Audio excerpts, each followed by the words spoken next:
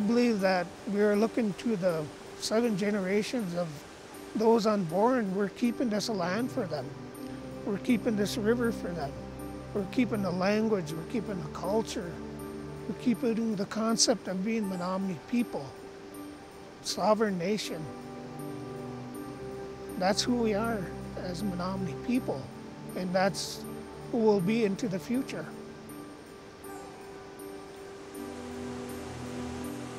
Act 31 is an exciting opening to exploring our shared future as Indians and non-Indians here in Wisconsin. We went way back. It's in our own claim as being the most archaeologically rich campus in the world. It says the people who moved into the western Great Lakes when the ice receded were the first inhabitants of the New World. So that's a pretty exciting story to think about. Of when we think of the western Great Lakes and the 11 federally recognized Indian nations of Wisconsin, and then we think about the deep human story when people first started calling the western Great Lakes home. One thing I think about Native nations is that there is such a strong adherence to tradition and a sense of traditional identity, cultural identity, cultural practice, and cultural ways because people have been in place for so long. These tribal identities are so tied to place that if you're still in that place, why would you ever move away from those ideas and those spiritualities and those worldviews that define your, that yourself and your ancestors. And so I think despite the United States' best efforts to have Native peoples transform away from those tribal identities, their linguistic heritage, that connection to place and the sense that our ancestors have lived and breathed in this place for so long and that their connection to place shaped who we are. It's our connection to our ancestors that keep us attached to the worldviews and the cultural heritage of this place. Act 31 is an invitation to get to know the deep human story of the Western Great Lakes. It helps us understand our neighbors. It helps us understand our own shared history and the complicated human relations of the Great Lakes.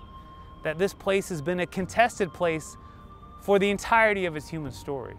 Just take it easy. Act 31 was born out of a pretty difficult period of misunderstanding and it's amazing how misunderstanding can lead to such incredible conflict that spread across the entirety of the northern part of the state.